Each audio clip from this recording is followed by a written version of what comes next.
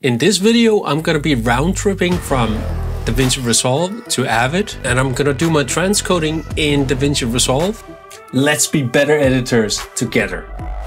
And there's two reasons for doing it in Resolve instead of transcoding in Avid Media Composer.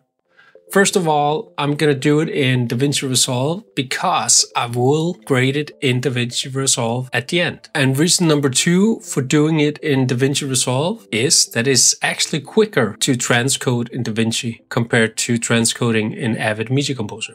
But to do it right, there's a few settings we need to take a look at. On my desktop, I have two folders, day one and day two. In day one, I have three different cameras. In this video, we're gonna start importing camera one and camera two from day one. These camera files are from the Ursa camera from Blackmagic. But before I'm gonna import any media into DaVinci Resolve, I'm gonna go down here to my settings and I'm gonna go into general options to make sure that our material, our proxy files, or low band files will relink back to the original camera files, we need to make sure that DaVinci has all the metadata it needs to do this process. So what we want to make sure is that under general options in the settings, it says assist using reel names from the source clip file name. And this is to make sure that even though I change the name of the files in Avid Media Composer while editing,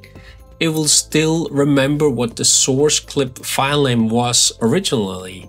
And this will help us to relink to the original camera files when we want to do our color grading. I'll make sure to have screenshots of all the settings that I'm using in my workflow, so you have a checklist every time you need to do transcoding. And remember, I'll make sure there's a link below hit save and you're all set to start importing your files. I'm in my camera one folder that I already made. I'm right clicking and I'm gonna say import. I'm gonna go to my camera one folder, select all of my files and just click open. With all my files selected, I'm gonna say make a new timeline. I'm gonna call this timeline camera one and hit create. My camera one timeline loads in my window. I'm gonna head straight to deliver because we're not gonna do any work on these files in DaVinci Resolve yet. We're gonna move all these files to Avid Media Composer. On the deliver page, you have a few options. You can export it to Final Cut, Premiere, and so forth. And today we're gonna do an AAF export to Avid. And first of all, it's gonna ask us where to put it and I already set it up to be day one, but I actually want this one to be in a folder called cam1. I'm just going to do a backslash and say cam01. I'll check my video settings and it's already picked MXF OP Atom, which is the camera file that Avid prefers. Atom means that it's split in a video file and audio files. I'm gonna choose DNX HR. And the reason for this is this is the newest file format for the Avid Media Composer. And if you pick the Avid Media Composer's original files or codec, it will run quicker and faster and better in the Avid Media Composer. I'm picking DNX HRLB, which stands for low band. We're actually doing a proxy workflow where we're editing or transcoding to LB proxies and we're editing in LB proxies and then we're gonna return it back into DaVinci Resolve for grading. And when we do our color grading, we're then gonna relink to the original high-res files, but we're just editing in proxies. This one is on render at source resolution, which means that all my 4K material will be in 4K raster sizes and all my HD material will be in their original raster sizes. That means if I'm editing in an HD project and I have some 4K material, I can actually do some digital zooming into it without losing the resolution. And I'm going to leave this one on, use constant bitrate.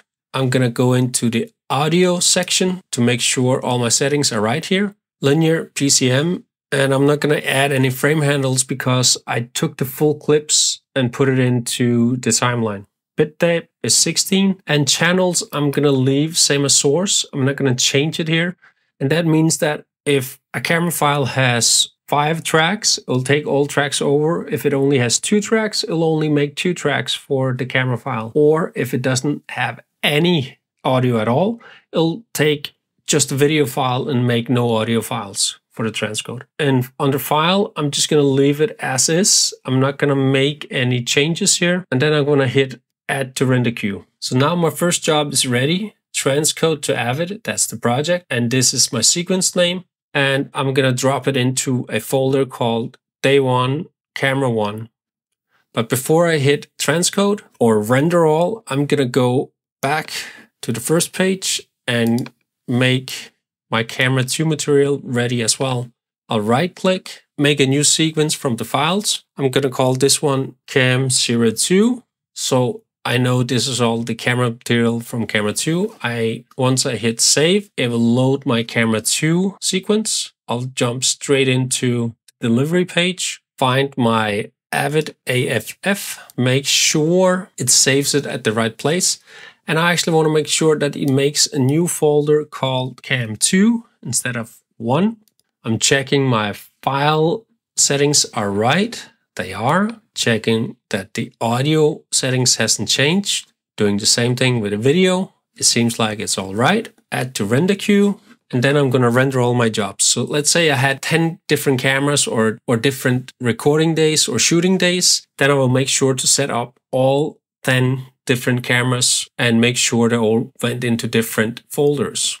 To set up render all, I can either do like that or I can make sure to select them all and then say render all. If I just hit the one, it'll only render job two, but I want to make sure it will render all my jobs.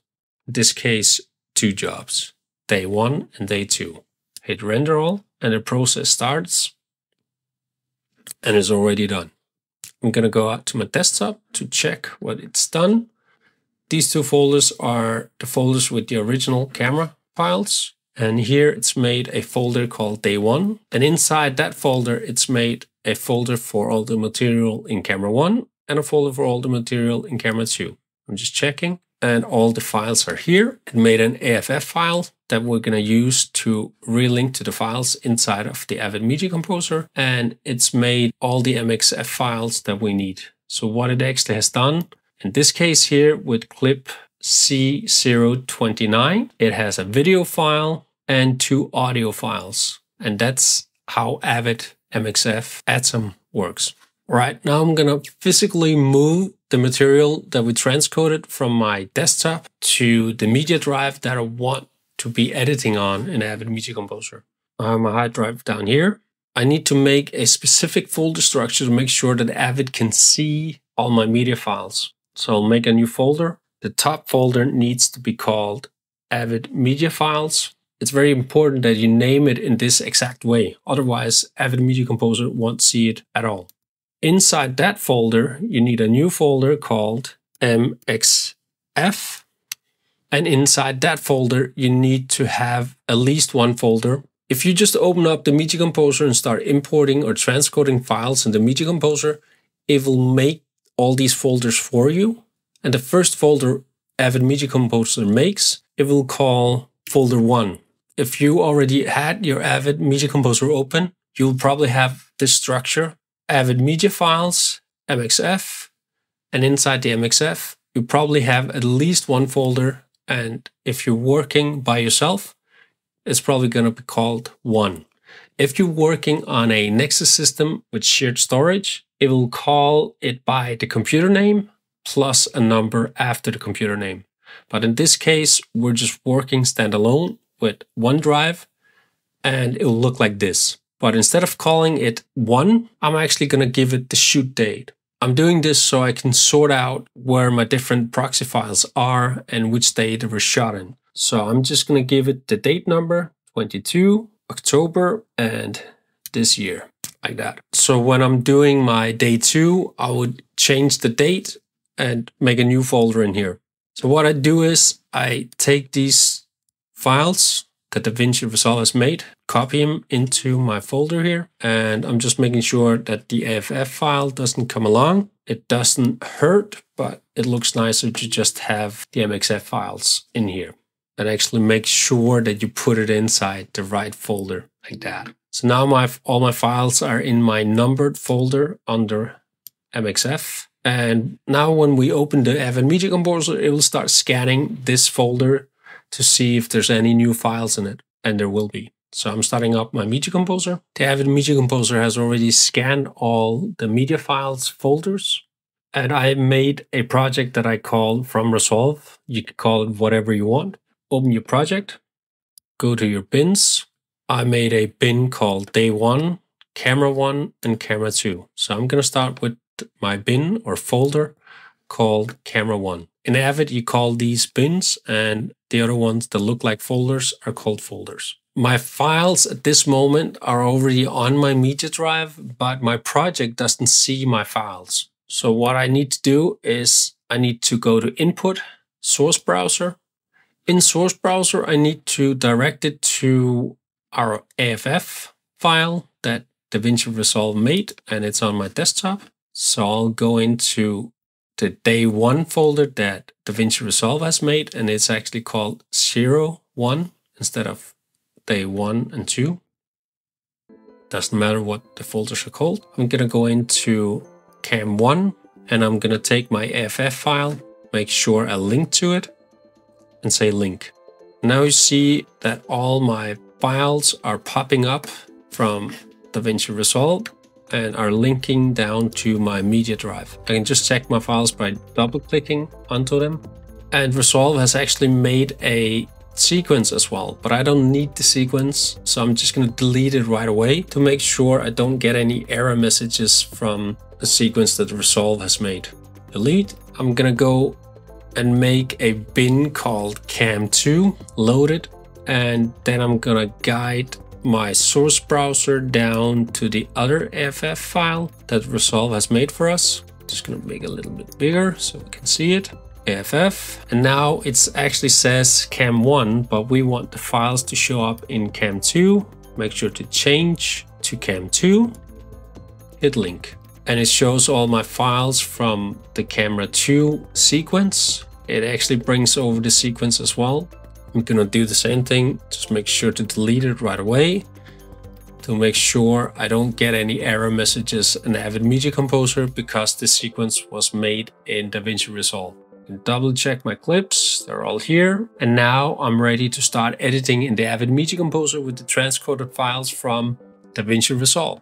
To see how you get your files back from Avid Media Composer into DaVinci Resolve and relink it to the original camera files in the high-res resolution, please check this video on the screen. And if you like this video, please comment and subscribe. And when you comment, you can ask any questions and I'll try to give you the right answer so we can be better editors together. By the way, this is how you make a string out.